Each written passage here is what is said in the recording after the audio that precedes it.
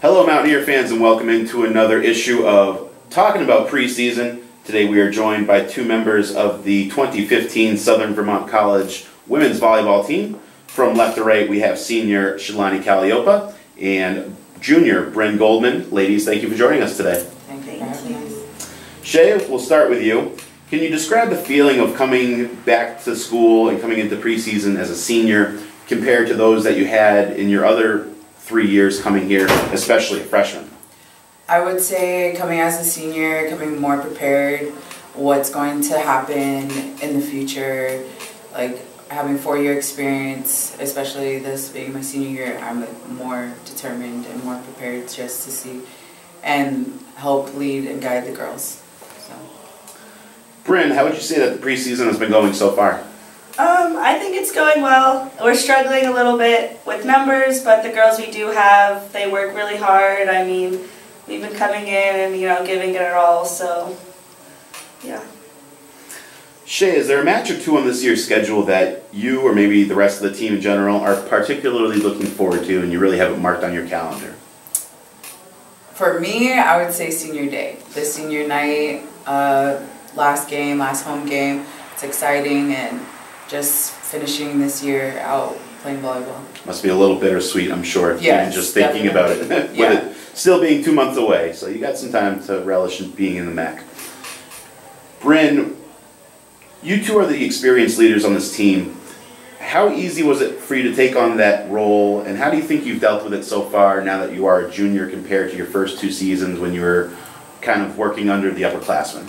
Um, I think my freshman year was a lot different. There's a lot of really experienced girls, so it was more of them guiding me and me just trying to figure everything out. But last year, I mean, there weren't we didn't really have a captain or a leader and it's kind of all of us kind of took that position and everyone kind of worked together to lead the team so i feel like it's pretty similar to that this year where we're just kind of all working together to lead each other and figure it out so Shay, what are you looking forward to the most here in your senior season?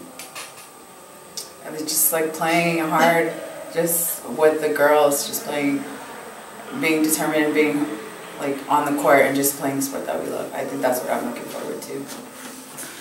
Bryn, what do you think is going to be the biggest obstacle for this team to overcome throughout the season? Um, I guess just playing together because I mean we haven't had a lot of time to play together, so just working together and meshing and figuring it out on the court. So, yeah.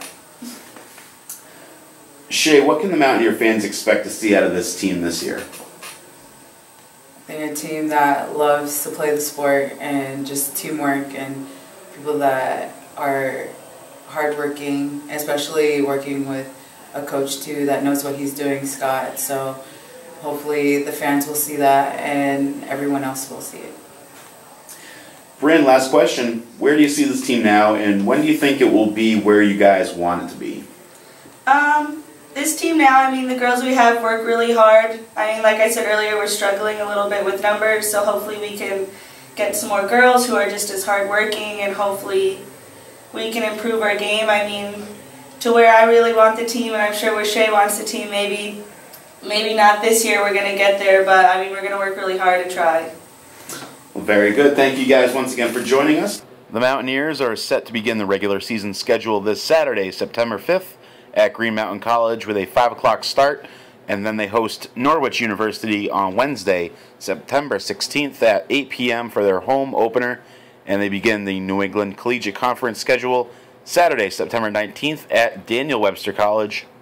And as Shay alluded to, senior night will be held on Friday, October 30th at 5 p.m. We hope to see you all there. Ladies, once again, thank you for joining us today and good luck with your season. Thank, you.